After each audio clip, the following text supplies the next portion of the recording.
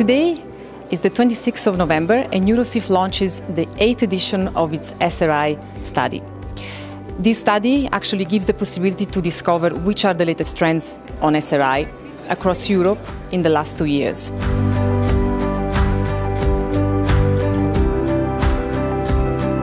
What are your impressions with regards to the, the first findings of the study? Uh, we uh, see that sustainable finance is uh, no longer a niche, uh, it's going uh, mainstream and uh, report confirms there, there is a major increase, for example, of the share of retail investors in, in the area of SRI investment.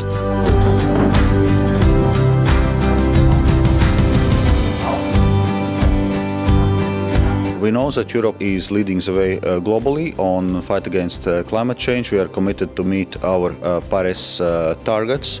But uh, for this uh, to happen, we will need financial industry to fully play its part.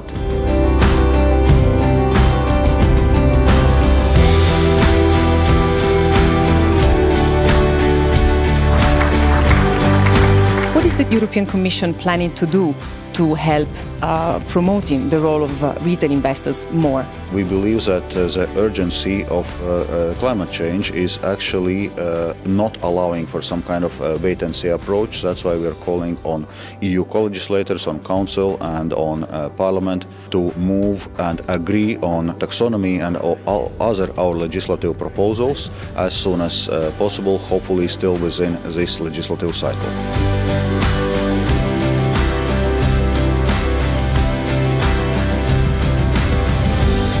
And gentlemen, let me call to the stage Vice President Dombrovskis to tell us about his perspective of these past two years.